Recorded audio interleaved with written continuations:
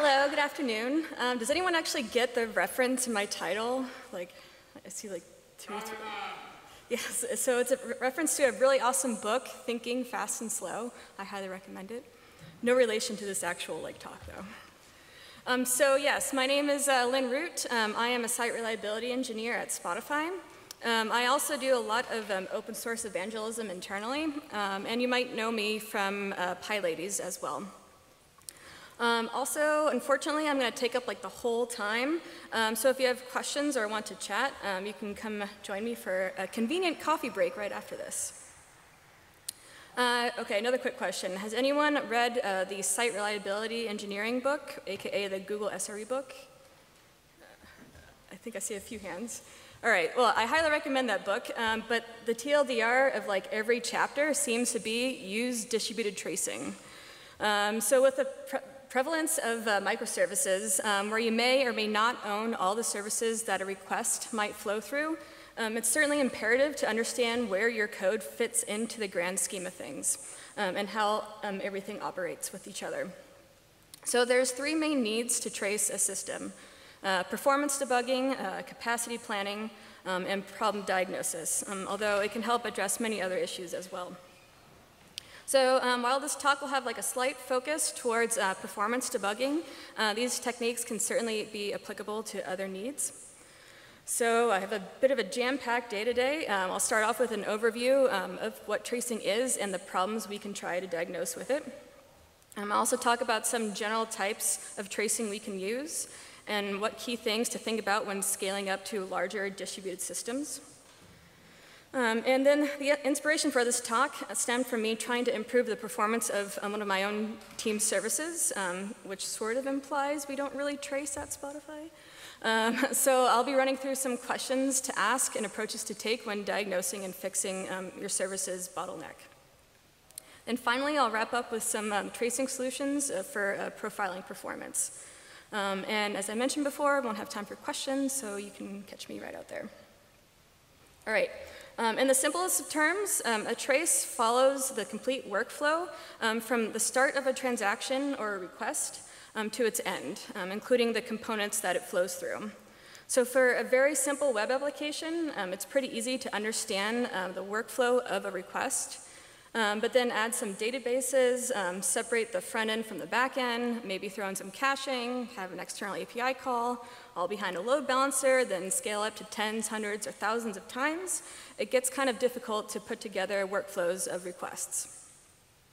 So historically, we've been focused on machine-centric metrics, um, including system-level metrics like CPU, disk space, and memory, as well as app-level metrics like requests per second, response latency, database writes, et cetera. Um, following and understanding these metrics are quite important, uh, but there's no view into a service's dependencies or its dependence. Um, it's, not, it's also not possible to get a view of a complete flow of a request, nor develop an understanding of how one's service performs at scale. So a workflow-centric approach allows us to understand relationships of components within an entire system, and then we can follow a request from beginning to end to understand bottlenecks, um, hone in on the anomalistic paths, um, and figure out where we need to add more resources.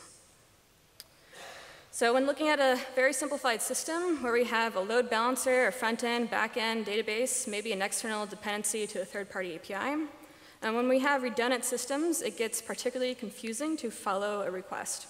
So um, how do we debug a program um, of a rare workflow? Um, how do we know which component of this system is the bottleneck?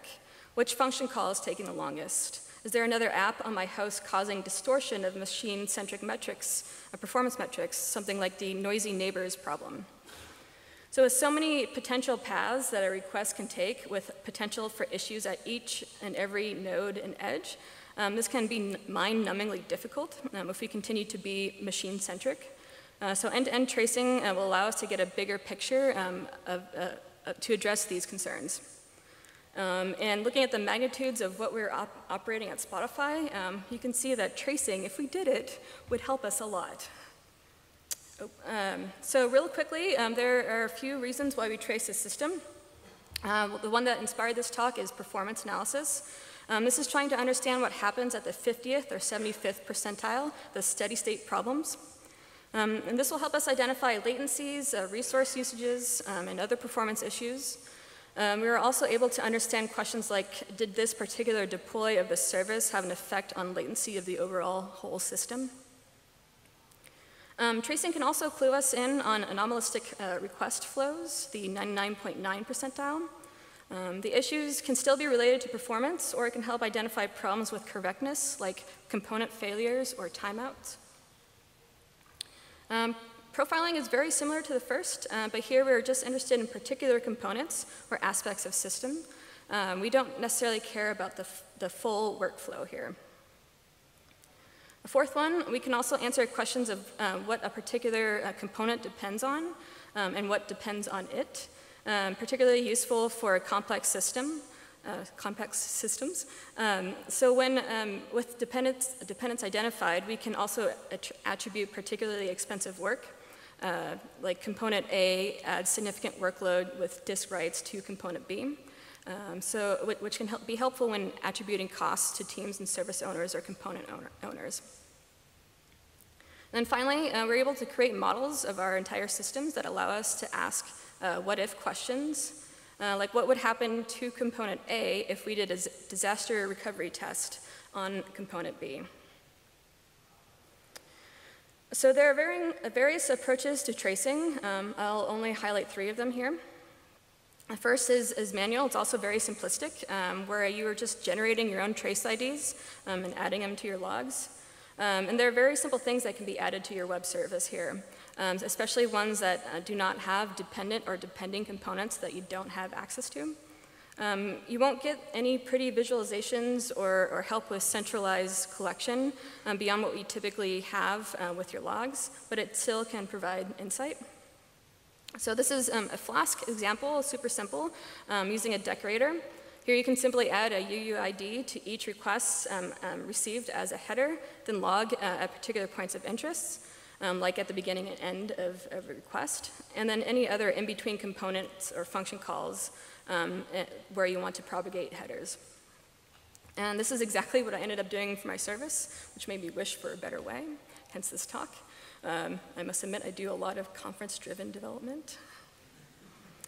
Um, so if your app is behind Nginx you're, that you're able to manipulate, you can also turn on its ability to stamp um, each request with a X request ID header, as you see here with the add header and proxy set header.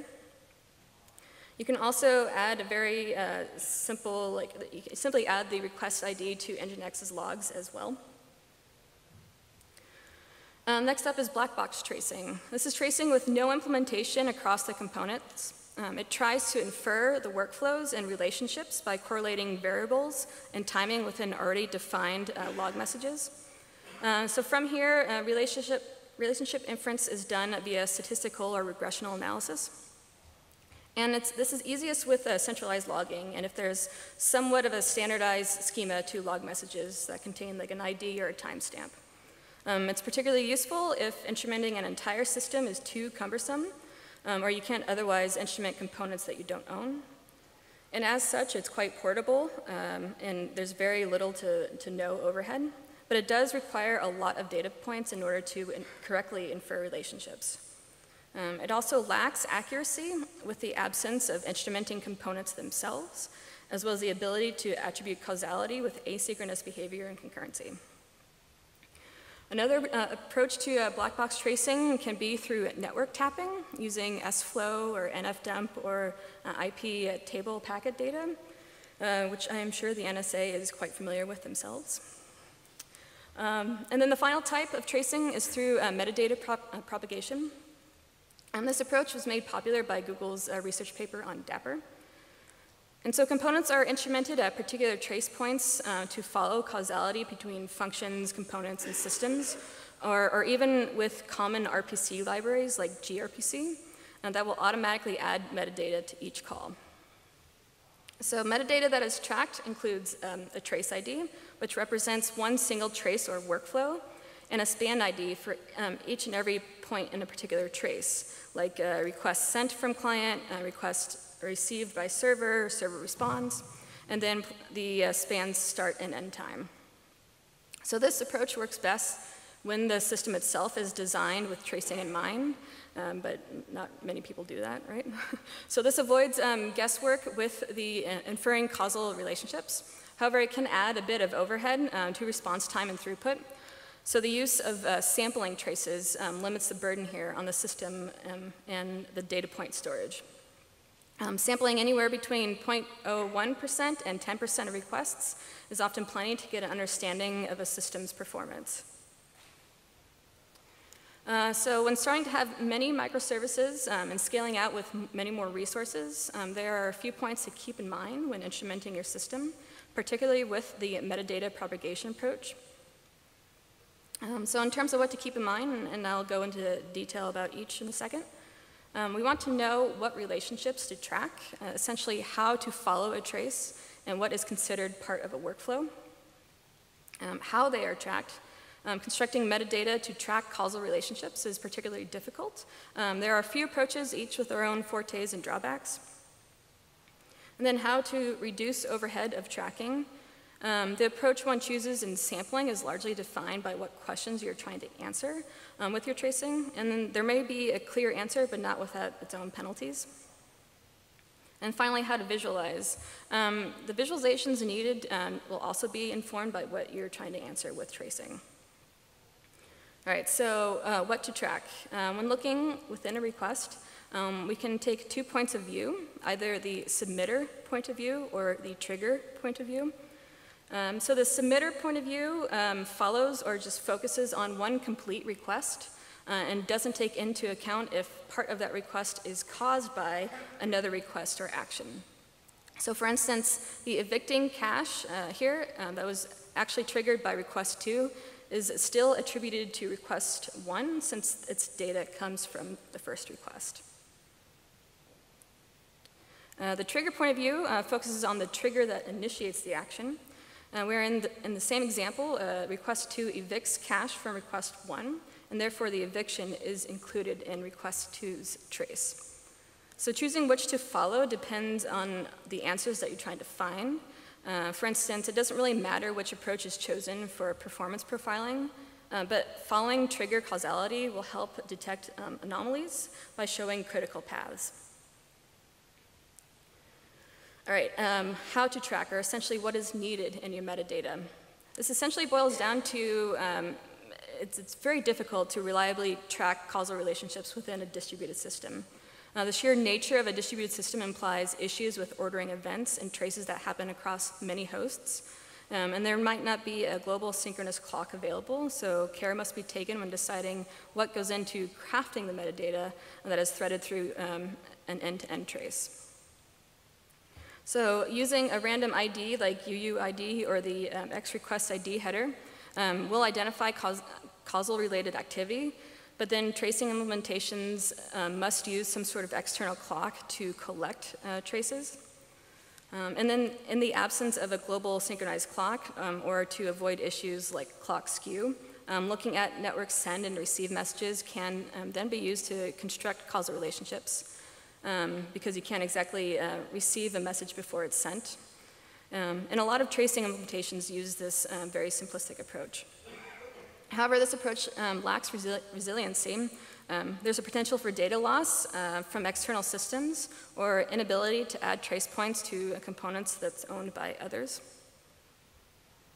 Um, tracing systems can also add a timestamp derived from a local logical clock um, to the workflow ID, where this isn't exactly the local system timestamp, but either a counter or sort of a randomized timestamp that is paired with a trace message.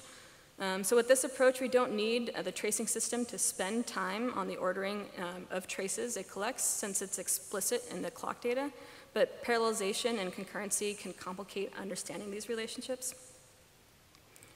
Um, and then one can also add the previous um, trace points that have been already executed within the metadata itself to understand all the forks and joins. Um, it also allows immediate availability of the tracing data itself as soon as the workflow ends, because there's no need to spend time on, um, on collating or establishing um, the order of causal relationships.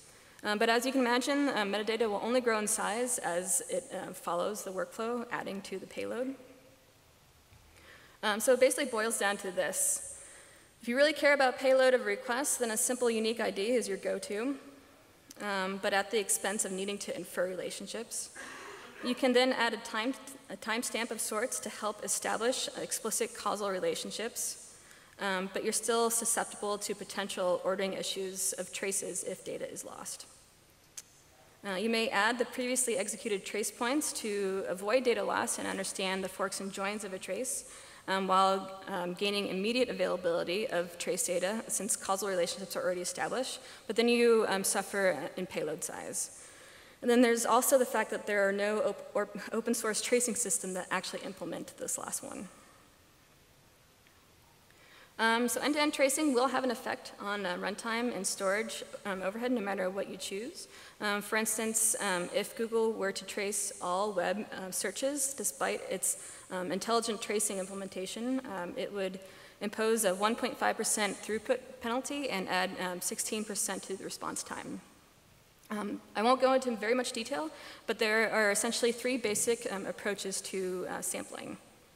First is um, head-based um, which will make a random sampling decision at the start of the workflow, and then we'll follow, away, follow it all the way through to completion. The next one is tail-base, um, which will make the sampling decision at the end of the workflow, implying some caching going on here.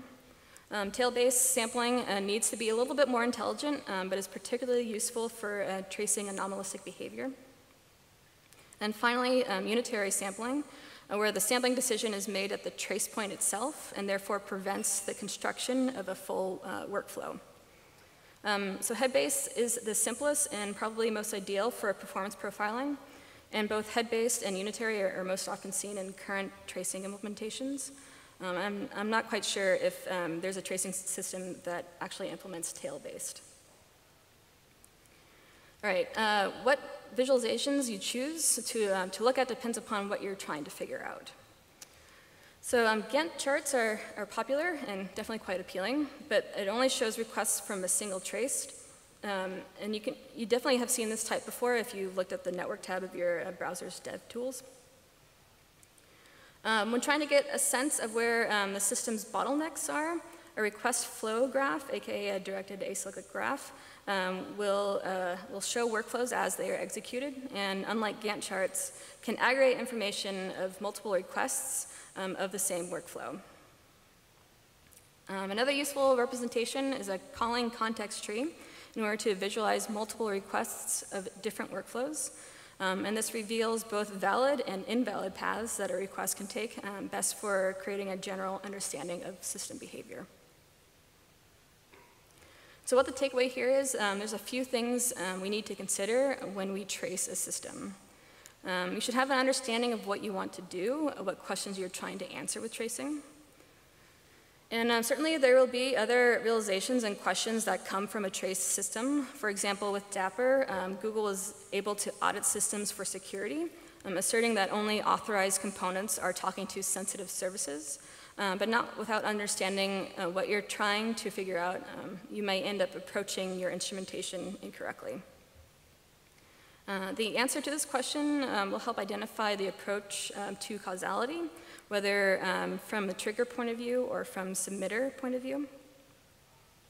Then another important question, how much time do you want to put into instrumenting your system? Or can you even instrument all parts? Uh, this will inform the approach that you use to tracing, be it black box or not. Um, if you can instrument like all the things, or at least some of it, um, it then becomes a question of what data um, you should propagate through an entire work, uh, through entire flow.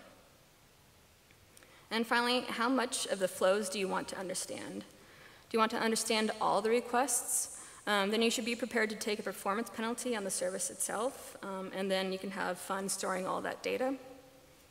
Um, uh, or is a percentage of the flows okay? And then if so, uh, then how do we approach sampling? Um, and that's in your answer of what we want to know um, question.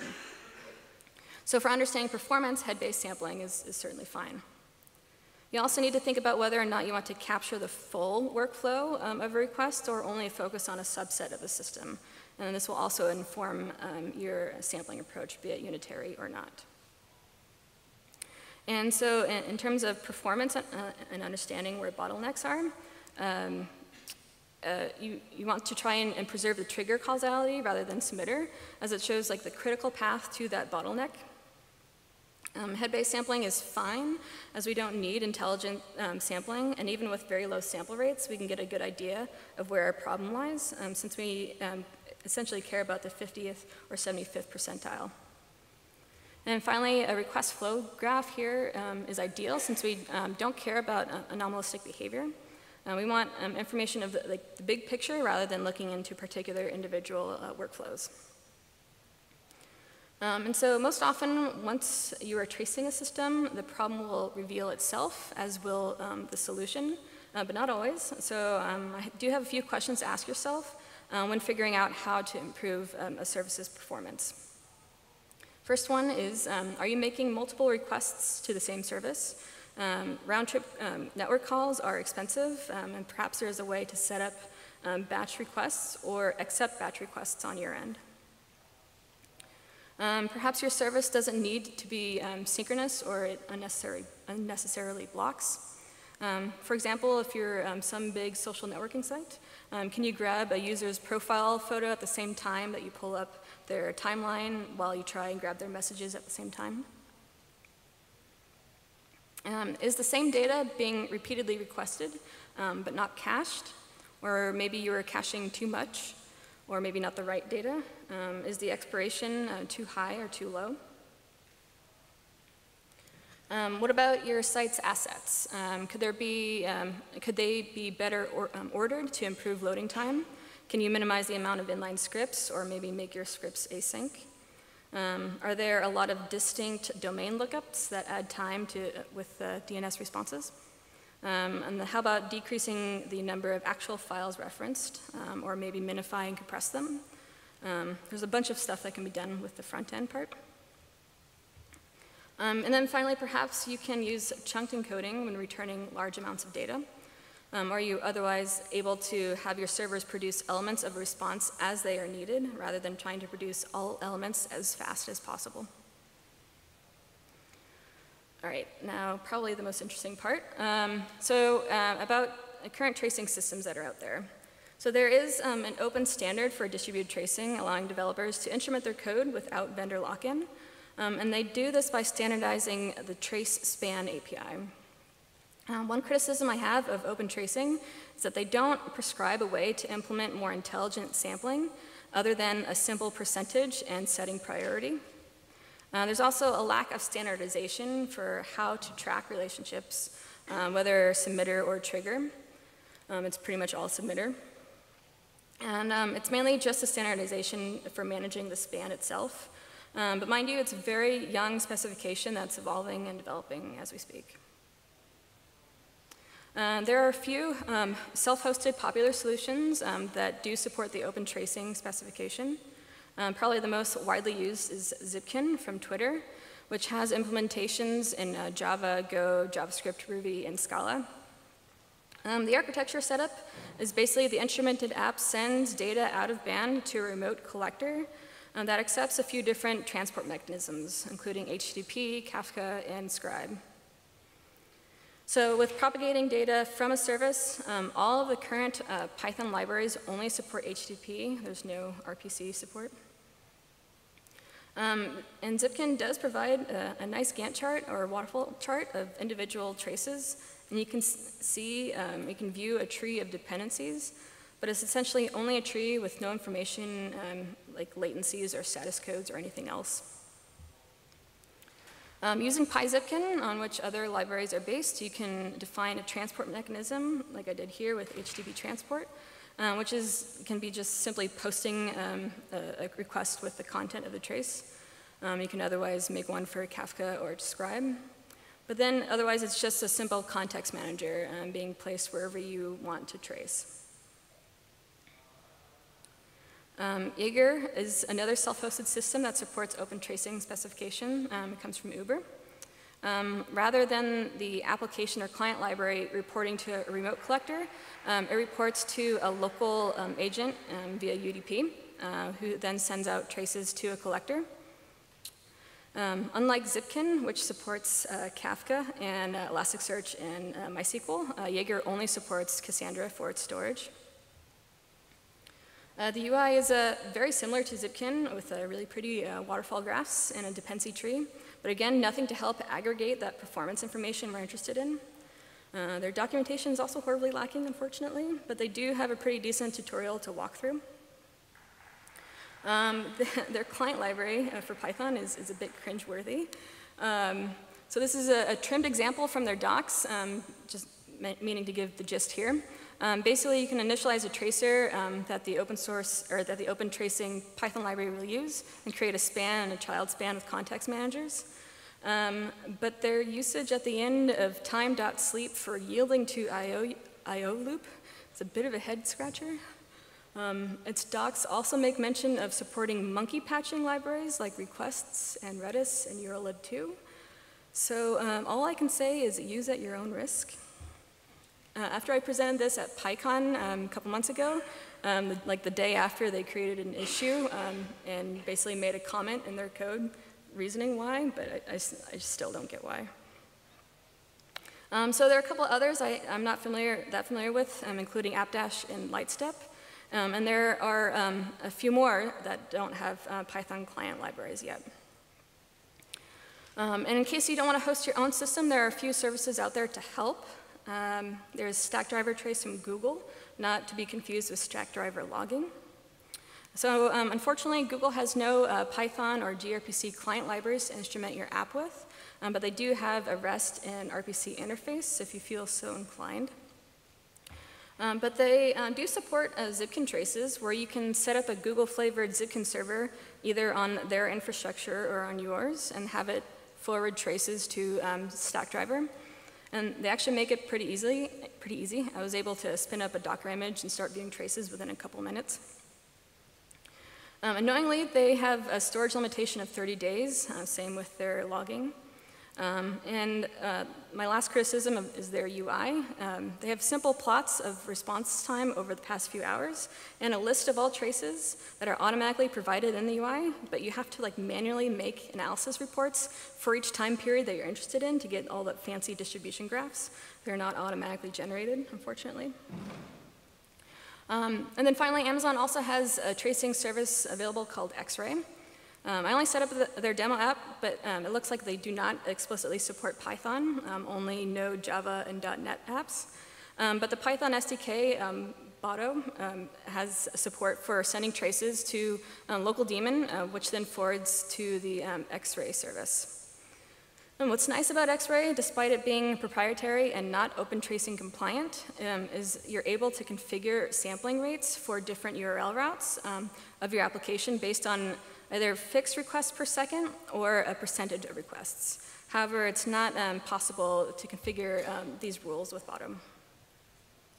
Um, also, uh, or almost redeemable, um, is their visualizations. Um, so while there's the typical waterfall chart, they also have a request flow graph that, where you can see average latencies, captured traces per minute, and requests broken down by response status. Um, so basically, um, AWS and X-Ray seems pretty cool and probably the most useful out of all of these, um, but it'll take some time instrumenting your app and introduces vendor lock-in. Um, and some honorable mentions that do app performance measurement. Um, I don't have um, personal experience with these, but Datadog and New Relic might be of interest to some of you. All right, and a quick opinionated wrap-up. Got like a minute here. If you run microservices, you should be tracing them.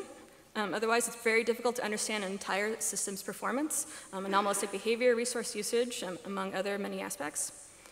However, good luck. Um, whether you choose a self-hosted solution or a provided service, documentation is all around lacking. Uh, granted, very young space, very much growing as open tracing standards, uh, standard is developing.